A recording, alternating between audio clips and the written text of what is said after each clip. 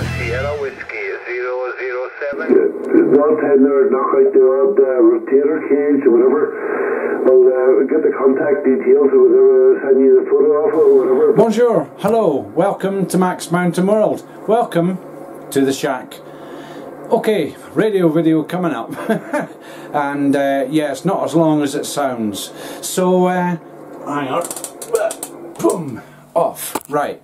So, uh, how long can you keep a QSO going, a conversation on the radio? Mm, yeah, it depends on conditions. Yes and no. So, what you have here is I harp on a lot about the 11 meter band, how 26 megahertz is better than 27 megahertz, all this stuff, and sometimes you can dip into 25 megahertz on the 11 meter band as well. But yeah, there's not many people do that. But uh, sometimes you you know 27 megahertz is good when the propagation's coming in.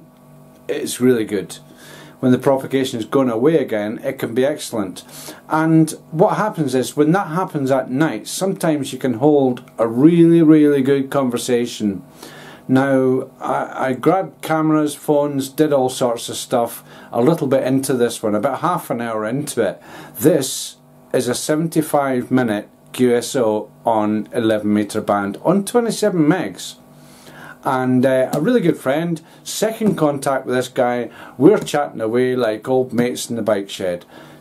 Check the video out, uh, this was brilliant. I've got a few clips, obviously I can't put uh, an hour and 15 minutes into uh, into one video, but just a couple of clips on, uh, you, you'll catch whatever is going in each scene as to what's actually happening there. Just a fantastic conversation and I hope to goodness that I can do this again, especially with uh, the operator there, Rob, um, blah, Bob, not Rob, Bob.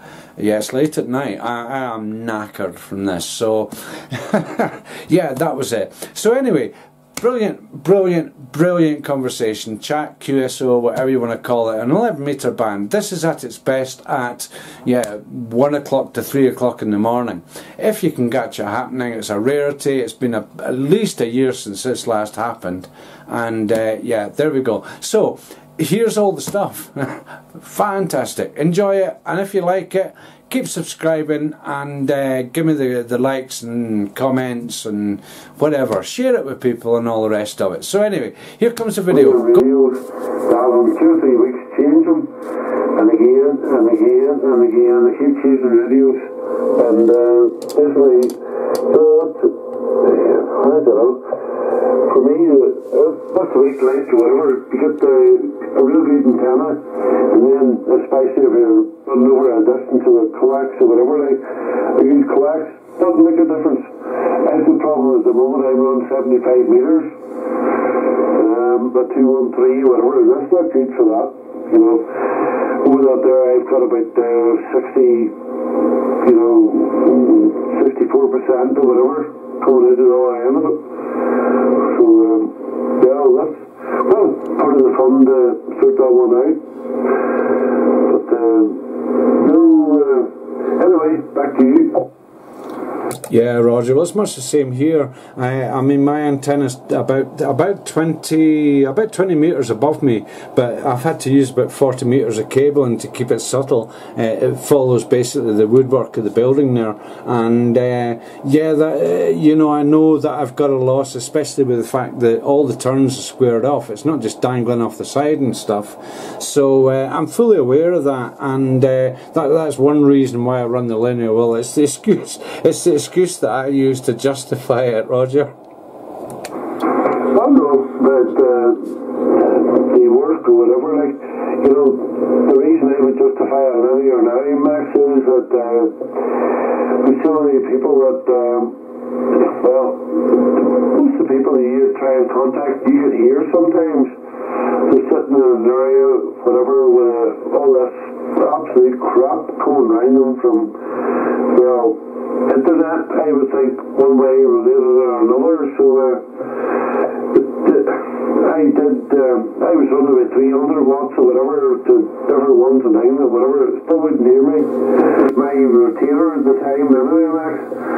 So uh, I got on to the top, got it changed, and I goes, right, back into the house again, going like a trappers like it used to be.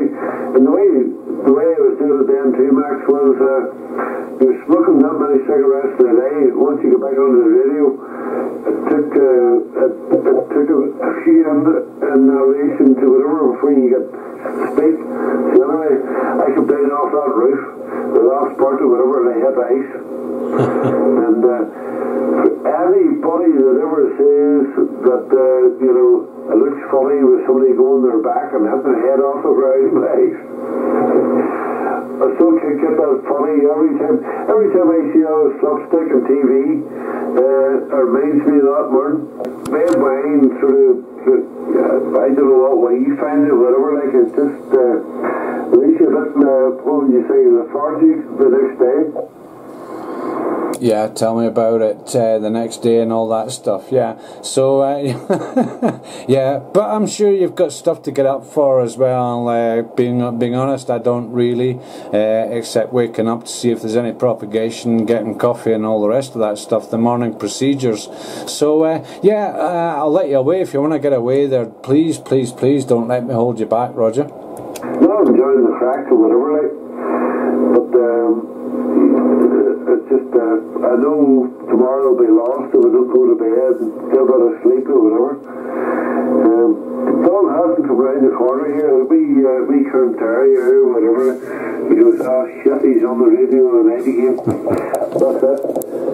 See, see the head out round the far. No, I can't. But uh, he would normally come out and drive up. Yeah, Roger. Well, I've dropped down to about 200 whiskies there. It just keeps uh, at the same temperature in the old finger warmer.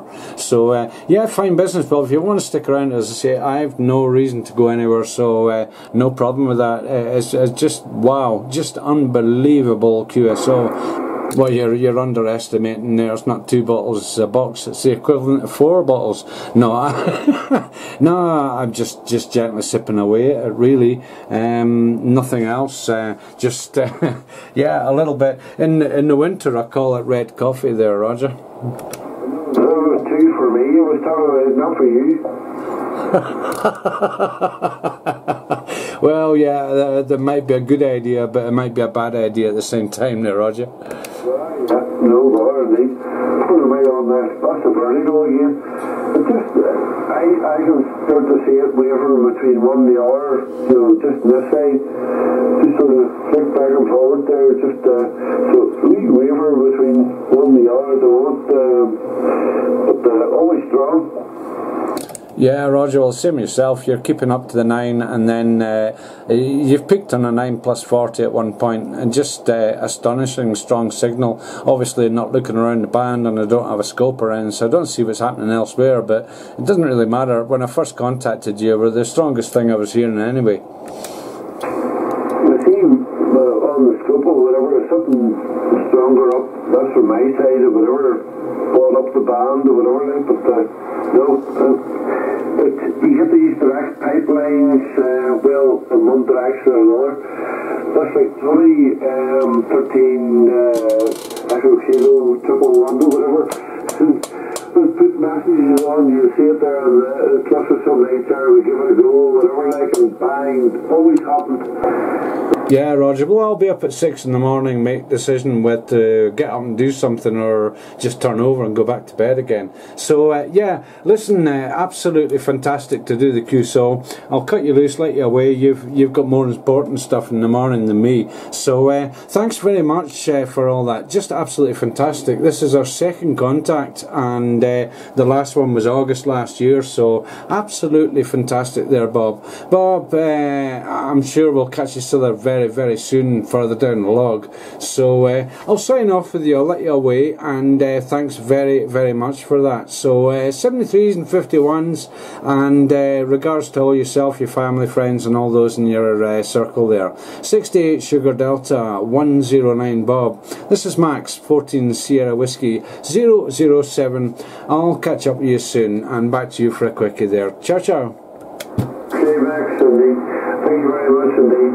And, uh, well, we uh, we it was one or whatever, like, I don't know what the, the time little was or whatever. Not that there was a living, but, uh, Max, to the Professor speaking to you. Cautious, between the boy. And uh, I'm off to bed. Good night for now. Go on then, uh, sleep well, and we'll catch up very, very soon. 73s, 51s, and uh, all the best there. Ciao, ciao, cheers and beers, have fun, take care. See you next.